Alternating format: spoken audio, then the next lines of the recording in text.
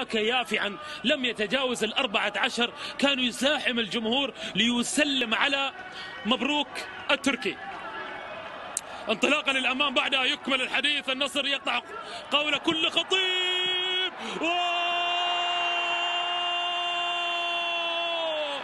جوليانو جوليانو يقلع يقطع قول كل خطيب